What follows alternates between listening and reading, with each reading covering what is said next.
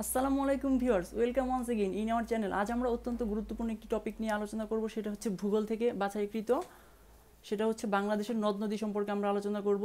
ভূগোল হচ্ছে অত্যন্ত খুবই কনফিউজিং একটা সাবজেক্ট এবং ভূগোল অত্যন্ত হচ্ছে বোরিং একটা সাবজেক্ট এটা সবার কাছে, সেটা আমার, আপনার কাছে সবার কাছে সেম এর মধ্যে নদ নদী যদি সাবজেক্টটা পড়তে হয়, সে তা- পড়তে গেলে অবশ্যই মাথাটা ঘুরে যায়। কারণ এক্ষেত্রে ম্যাপ ভিত্তিক কিছু বিষয় রয়েছে এবং অনেক ইনফরমেশনে অনেক কনফিউশন হতে পারে আমাদেরকে। আমরা সেই নদ নদীর কনফিউজিং টার্ম নিয়ে আজকে এবং নদ নদী সম্পর্কে বিস্তারিতভাবে আলোচনা করার চেষ্টা করব। আশা করি আপনাদের, আমাদের সাথেই থাকবেন। বাংলাদেশ হচ্ছে একটা নদীমাতৃক দেশ। এখন নদীমাতৃক দেশে বসবাস করে যদি আমরা বাংলাদেশের ভূপ্রকৃতি, বাংলাদেশের নদ নদী সম্পর্কে না জানি, এটা একটু অন্যায় টাইপের হয়ে যায়, ঠিক আছে? জাস্ট পরীক্ষার জন্য না বা যে কোনো কিছু কারণেই হোক না কেন প্রতিযোগিতামূলক পরীক্ষা কিংবা আমাদের সাধারণ জ্ঞানের জন্যই হোক, প্রত্যেকটা কাজের জন্যই আমাদের বাংলাদেশের নদ নদী সম্পর্কে ধারণা থাকাটা আবশ্যক। এই নদ নদীগুলো কোনো কোনোটা বাংলাদেশে বাংলাদেশে একটা মাত্র উৎপত্তি হয়েছে বা এরকম কিছু রয়েছে, যেমন ভারত উৎপত্তি হয়েছে, চীনে উৎপত্তি হয়েছে, এরকম আমাদের হচ্ছে। আমরা কিছু আমাদের প্রধান নদী বলতে আমরা কী কী বুঝি? মূলত পদ্মা, মেঘনা, যমুনা, কর্ণফুলী। এখন এই নদীগুলো সম্পর্কে আমাদের হিউজ ইনফরমেশন আমাদের হচ্ছে আমাদের নলেজে থাকতে হবে। তাহলে শুরু করা যাক আজকে আমাদের মূল ভিডিওটি তাহলে দেরি না করে let's gets started our main video আচ্ছা প্রথমে আমরা দেখতে পাচ্ছি পদ্মা। বাংলাদেশের নদ নদীর মধ্যে পদ্মাটা উৎপত্তি হয়েছে হচ্ছে হিমালয়ের গাঙ্গোত্রী হিমবাহ থেকে। হিমালয়ের গাঙ্গোত্রী হিমবাহ থেকে। এটা কি পদ্মা? পদ্মাটা আসলে বাংলাদেশে যখন প্রবেশ করেছে, তখন তার নামটা পদ্মা হয়েছে। কিন্তু ভারতে যদি তুমি যাও, তুমি যদি যাও, সেক্ষেত্রে এটার নাম কী হবে? গঙ্গা। অর্থাৎ একই জিনিস। একটাই নদী, তার দুইটা নাম। যেমন একটা মানুষের দুইটা নাম থাকতে পারে। যেমন আমার নাম কাজী সীমান্ত শুভ, আমার ফ্রেন্ডরা আমাকে সীমান্ত ডাকে এবং বাসার লোকজন ডাকে শুভ। দুইটা নাম, কিন্তু পার্সন কিন্তু একটাই। তারপর একটা লোক সে হচ্ছে প্রাইভেট পড়াতে পারে কিংবা সে অন্য একটা বিজনেসও করতে পারে। অর্থাৎ একটা লোক দুইটা পেশা, ঠিক আছে? অর্থাৎ গঙ্গা এবং পদ্মা আসলে একটা একটাই নদী। আর গঙ্গাটা বাংলাদেশের কীভাবে এসেছে? গঙ্গা নদীর উৎপত্তিটা কোথায়? গঙ্গা বা পদ্মা নদীর উৎপত্তিটা হচ্ছে হিমালয়ের গাঙ্গোত্রী হিমবাহ থেকে। পরবর্তী নদীটি হচ্ছে কর্ণফুলি, মিজোরাম রাজ্যের লুসাই পাহাড় থেকে। মিজোরাম রাজ্যের লুসাই পাহাড় থেকে হয়েছে হচ্ছে কর্ণফুলী। তারপর রয়েছে মেঘনা, আসামের লুসাই পাহাড় থেকে। এক্ষেত্রে তোমরা লক্ষ্য করবে যে লুসাই পাহাড় দুই জায়গায় রয়েছে। এখন কি এটা দুইটা লুসাই পাহাড়? সেটা হচ্ছে কর্ণফুলী এবং মেঘনা দুইটা দুই জায়গায় লুসাই পাহাড়ের কথা বলা হয়েছে। কিন্তু রাজ্যের নাম কিন্তু ভিন্ন। এক্ষেত্রে কথাটা হচ্ছে পাহাড়টা কিন্তু একটাই। পাহাড়টা একটু বিশাল এবং দুইটা জায়গায়। একটা হচ্ছে লুসাই পাহাড়টা হচ্ছে মিজোরাম রাজ্যে একটা অবস্থিত, আর একটা হচ্ছে আসাম রাজ্যে অবস্থিত। অর্থাৎ ভারতের রাজ্যগুলো অনেক বিশাল বিশাল হয় এবং পাহাড়গুলো অত্যন্ত বিশাল। সো আসলে তোমার লুসাই পাহাড় একটাই এবং সেটা অনেকগুলো রাজ্য মিলে অবস্থিত এবং দুইটা রাজ্য থেকে দুইটা নদী আসছে। মিজোরাম থেকে আসছে কর্ণফুলী, আসাম থেকে আসছে মেঘনা। আর একটু নিচে নামা যাক, সেটা হচ্ছে ব্রহ্মপুত্র। ব্রহ্মপুত্রর তোমার উৎপত্তি লাভ করেছে তিব্বতের মানস সরোবর থেকে। ব্রহ্মপুত্র ব্রহ্মপুত্র উৎপত্তি লাভ করেছে তিব্বতের মানস সরোবর থেকে। পরবর্তীতে আমরা দেখতে পাচ্ছি হচ্ছে যমুনা। যমুনা নদীটি কোথা থেকে উৎপত্তি হয়েছে, সেটা তুমি দুই ধরনের উত্তর হতে পারে। একটা হচ্ছে যমুনার উৎপত্তি হয়েছে ব্রহ্মপুত্র থেকে, অথবা তিব্বতের মানস সরোবর থেকে। ঠিক আছে? এটা দুই ধরনের অ্যান্সার হতে পারে, সমস্যা নেই। অর্থাৎ যেটা থাকবে, সেটাকে প্রায়োরিটি দিতে হবে। অপশনে দুইটা থাকবে না যে কোনো একটাই থাকবে এই দুইটার। আর বুড়িগঙ্গাটা হচ্ছে ধলেশ্বরী। বুড়িগঙ্গার উৎপত্তি হচ্ছে ধলেশ্বরী। এই তিনটে, লাস্টের যে তিনটা টপিক আলোচনা করলাম, ব্রহ্মপুত্র, যমুনা, বুড়িগঙ্গা, এই তিনটা সিরিয়ালে রাখার আসলে একটা কারণ রয়েছে, আমরা একটু পরে সেটা কারণটা ভেঙে তোমাদের সামনে বলব। এই যে, এই, এইটাই হচ্ছে সেই কারণ। দেখো, ব্রহ্মপুত্র, ব্রহ্মপুত্রের শাখা নদী হচ্ছে যমুনা। যমুনার শাখা নদী হচ্ছে ধলেশ্বরী। ধলেশ্বরীর শাখা নদী হচ্ছে বুড়িগঙ্গা। অর্থাৎ বুড়িগঙ্গা কোথা থেকে উৎপত্তি লাভ করেছে? ধলেশ্বরী থেকে। তারপর পেছনে, আবার পেছনে। লক্ষ্য করো জিনিসটা। অর্থাৎ দেখো, ধলে, বুড়িগঙ্গার উৎপত্তি ধলেশ্বরী। এখন এই দিকে তাকাও। বুড়িগঙ্গার উৎপত্তি ধলেশ্বরী। ধলেশ্বরীর উৎপত্তি যমুনা। যমুনার উৎপত্তি ব্রহ্মপুত্র। ব্রহ্মপুত্রের উৎপত্তি কোথায়? তিব্বতের মানস সরোবর থেকে। অর্থাৎ আলটিমেটলি সবগুলো জিনিসই তিব্বতের মানস সরোবর থেকে আসছে। অর্থাৎ মূল রুট যে জিনিসটা, শাখা প্রশাখা থাকে না এরকম। তাহলে এই জিনিসটা আমাদের মনে রাখতে হবে সিকোয়েন্স ব্রহ্মপুত্র থেকে যমুনা যমুনা থেকে ধলেশ্বরী ধলেশ্বরী থেকে বুড়িগঙ্গা। এই চারটা জিনিস একবার সিলারে মনে রাখতে হবে। যেমন আমরা একটা পড়ি না যে সক্রেটিস প্লেটো এসপি ডাবলে যেমন সক্রেটিস, প্লেটো, অ্যারিস্টটল, আলেকজান্ডার, এভাবে চারজন গুরু শিক্ষকের নাম আমরা মুখস্থ রাখি, ঠিক সেইভাবে এই জিনিসটাও মুখস্থ রাখতে হবে। এসপি ডাবলে সক্রেটিস, তারপর কি? প্লেটো, অ্যারিস্টটল, তারপর কি? আলেকজান্ডার। অর্থাৎ চারজন অত্যন্ত মহান এবং তাদের হচ্ছে শিক্ষক, ছাত্র ক্রম আমাদের মনে রাখতে হবে ঠিক সেম, সেমভাবে আমাদের এটা মুখস্থ করে ফেলতে হবে। ওইটা যতটা গুরুত্বপূর্ণ, বাংলাদেশের প্রেক্ষিতে এটা তার চেয়েও বেশি গুরুত্বপূর্ণ। ব্রহ্মপুত্র, যমুনা, ধলেশ্বরী, বুড়িগঙ্গা। এই সিকোয়েন্সটা আমাদের মনে রাখতেই হচ্ছে। এক্ষেত্রে আমরা দেখছি বাংলাদেশের একটা মানচিত্র খুবই ডিসগাস্টিং একটা জিনিস, অর্থাৎ মানচিত্র বলতে হবে ডিসগাস্টিং হবে। দেখা যাচ্ছে এই ডিসগাস্টিং টপিকটা নিয়ে এখন আমরা আলোচনা করব। এখানে বাংলাদেশের বিভাগগুলোকে ভাগ করা হয়েছে। যতগুলো বিভাগ রয়েছে, রংপুর, রাজশাহী। এখানে তো আমরা ময়মনসিংহটা দেখতে পাচ্ছি না। সিলেট রয়েছে চিটাগং, এটাকে আমরা এখন ভাগ করব। এখানে যদি আমরা লক্ষ্য করি, পদ্মাটা হচ্ছে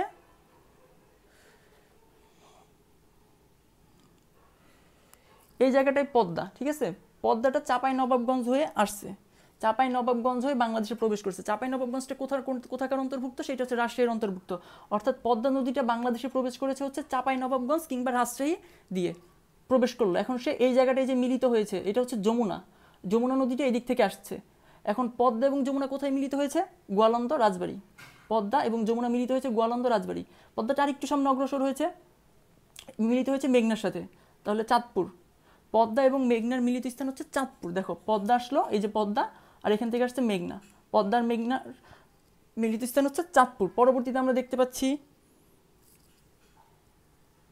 তিস্তা তিস্তা নদীটা লালমনিরহাট দিয়ে প্রবেশ করেছে বাংলাদেশে। লালমনিরহাট, তিস্তাটা প্রবেশ করেছে হচ্ছে লালমনিরহাট দিয়ে, পরবর্তীতে কুড়িগ্রাম দিয়ে প্রবেশ করেছে ব্রহ্মপুত্র। এই যে এখানে রয়েছে কুড়িগ্রাম দিয়ে প্রবেশ করেছে ব্রহ্মপুত্র। ঠিক আছে? আর তারপর ব্রহ্মপুত্রটাতে তোমার একটা হচ্ছে ভূমিকম্প হয়, সৎ তোমার সেই ভূমিকম্পের ফলে এটার গতিপত্র পরিবর্তন পরিবর্তন হয়ে যায়। সেটা হচ্ছে তোমার প্রতন ব্রহ্মপুত্র প্রতন ব্রহ্মপুত্র হয় আর একটা হচ্ছে যমুনা হয়। এই যে যমুনাটা এইদিকে এসে পড়ছে, প্রতন ব্রহ্মপুত্রটা চলে গেছে এইদিকে আর যমুনাটা চলে আসছে এইদিকে। এখন যমুনার পদ্মা মিলিত হয়েছে কোথায়? এই যে গোয়ালন্দ, রাজবাড়ি। পরবর্তীতে সিলেট দিয়ে প্রবেশ করছে হচ্ছে তোমার মেঘনা নদীটা। সিলেট দিয়ে কোন নদীটা প্রবেশ করছে? মেঘনা। তার সিলেট দিয়ে প্রবেশ করার পর হচ্ছে সুরমা ও কুশিয়ারা। দুইটা নদী হয়ে প্রবেশ করেছে। পরবর্তীতে আবার সে মেঘনাতে যে মিলিত হয়েছে। আর সুরমা এবং কুশিয়ারের মিলন স্থান কোথায়? এটা হচ্ছে আজমেরিগঞ্জ, হাবিগঞ্জ। হবিগঞ্জ, দুঃখিত, হবিগঞ্জ। আজমিরিগঞ্জ, হবিগঞ্জ।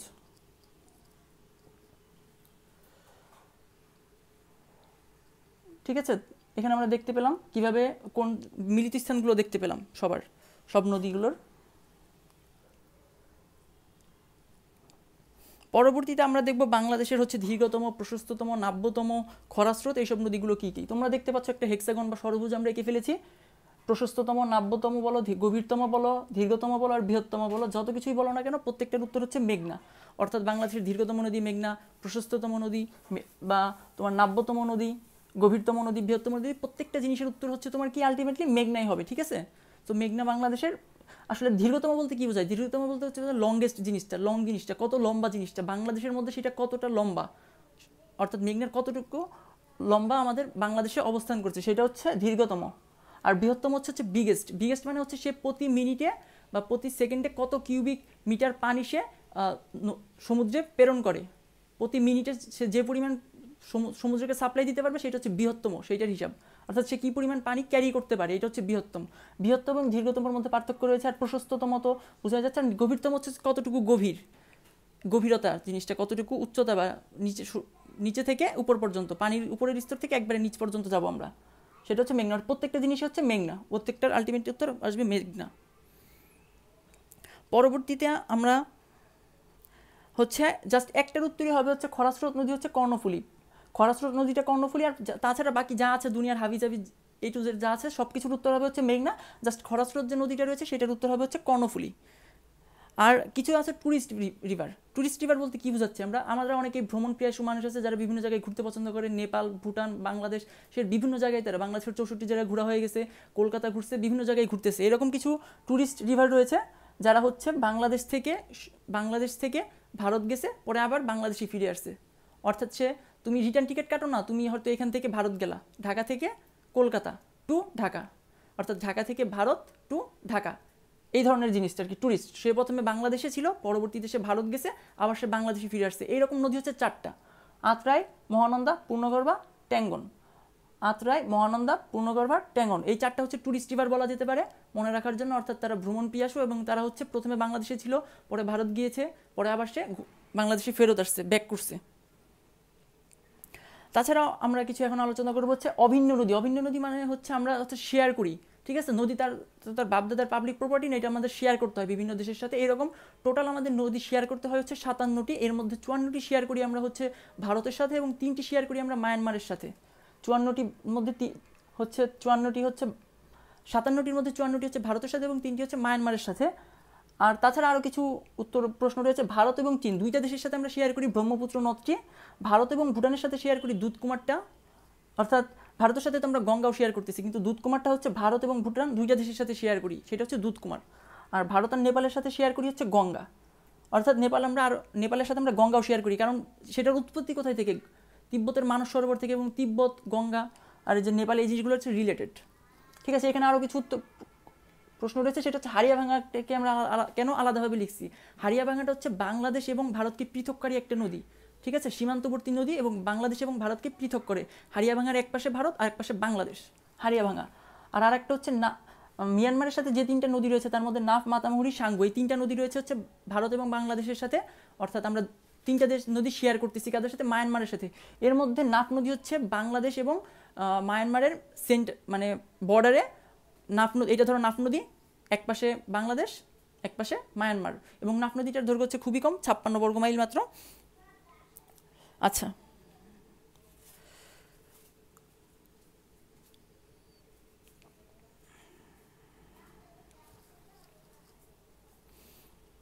এখন আমরা কিছু ডিটেলস ইনফরমেশন জানব, সেটা হচ্ছে পদ্মা নদী তোমরা দেখতে পাচ্ছ। উৎপত্তি আমরা আগেই আলোচনা করেছি, প্রবেশপথ আমরা আগেই আলোচনা করেছি একটা হচ্ছে ম্যাপের মাধ্যমে দেখেছি যে জিনিসগুলো খুবই কনফিউজিং তাছাড়া পর্বত পদ্মার পূর্ব নাম হচ্ছে কীর্তিনাশা, তীরবর্তী স্থান রাজশাহী।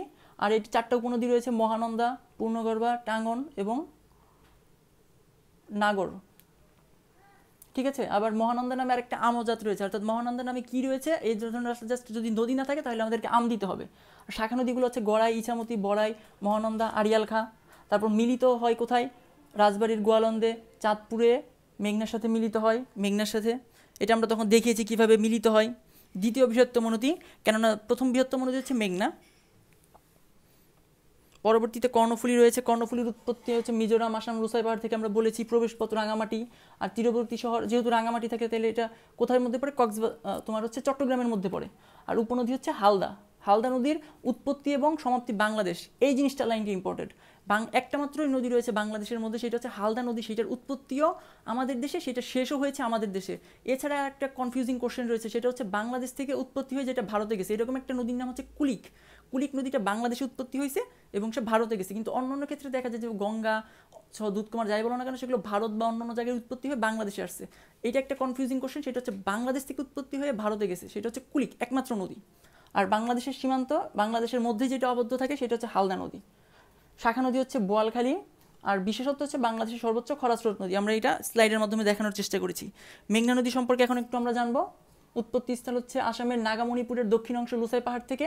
প্রবেশপথ সিলেট, আমরা দেখেছি এটা কীভাবে সিলেট থেকে প্রবেশ করছে। সুরমা কুশিয়ারের সাথে মিলিত হয়ে পরবর্তীতে সেটা নিচে নামছে। পূর্ব নাম বরাক। অর্থাৎ সেটা বরাকটাই সুরমা কুশিয়ারা হয়ে পরবর্তীতে মেঘনা নাম ধারণ করে। ওকে?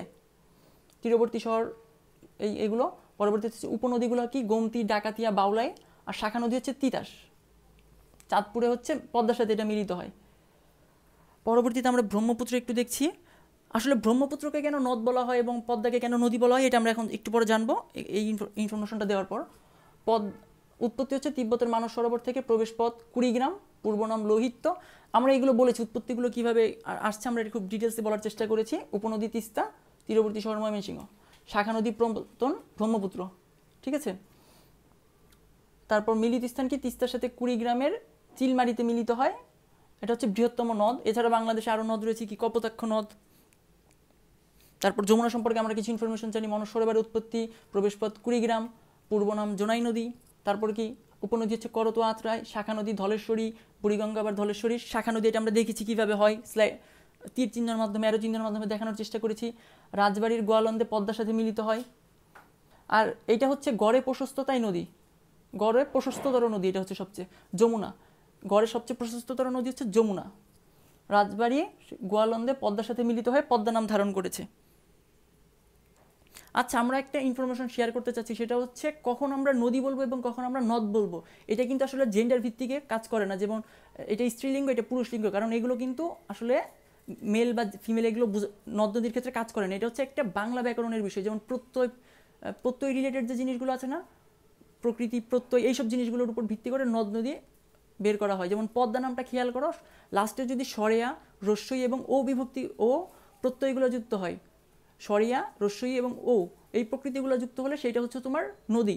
আর যদি সরিয়া জাস্ট শুধু সরিয়টা যুক্ত হয়, যেমন কপোতাক্ষ, জৈতাক্ষ, ক প্লাস পেটকাটের মধ্যে নশ প্লাস অ, সরেয়, কপোতাক্ষ নদ, ব্রহ্মপুত্র, এ প্লাস সরিয়, এ হসন্ত প্লাস সরিয়, ব্রহ্মপুত্র নদ, কপোতাক্ষ নদ, কিন্তু মেঘনা দন্তান্ন লাস্টের শব্দটা খেয়াল করো, দন্তান্ন যোগ সরিয়া। কি বলেছি? সরিয়া, রস্যই এবং ও যদি যুক্ত হয়, প্রত্যয়গুলো। এই প্রত্যয়গুলো যুক্ত হলে সেটা হচ্ছে নদী। আর এই প্রত্যয়গুলো ব্যতি রেখে শুধু যদি সরিয়া, সরিয়াটা যুক্ত হয় সরিয়া সেটা হচ্ছে কি হয়ে যাবে? সেটা হয়ে যাবে হচ্ছে তোমার নদ। অর্থাৎ নদ এবং নদী, এটা কোনো ফিমেল মেল এইভাবে আলাদা করা হয় না, যেমন লিঙ্গ ভিত্তিকে আলাদা করা হয় না। এটা হচ্ছে বাংলা ব্যাকরণের একটা বিষয়। তাহলে আজকের ভিডিওটি আশা করি তোমাদের ভালো লাগবে। লাইক কমেন্ট শেয়ারের মাধ্যমে যুক্ত থাকতে পারো। এবং আমাদের যে ইম্পর্টেন্ট স্লাইডগুলো আছে, আমরা জাস্ট আরেকবার একটা ওভারভিউ দিয়ে দিতে চাচ্ছি।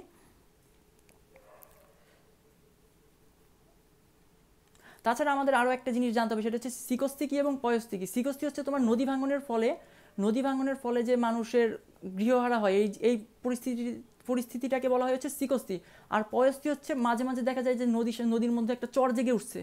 পলি জমতে জমতে একটা চর জেগে উঠে, সেই সেইখানে মানুষ আবার চাষাবাদও শুরু করে। ওইটা হচ্ছে পয়স্তি। তো একটা গেল সিকস্তি আর একটা গেল পয়স্তি। আর এই কয়েকটা আমরা স্লাইড দেখাবো। এই স্লাইডগুলো যদি আমরা স্ক্রিনশট নিয়ে রাখতে পারি, তাহলে আমাদের জন্য খুবই হেল্পফুল হবে। আমাদের সাথেই যুক্ত থাকবে। টেক কেয়ার বাই বাই আল্লাহ হাফেজ।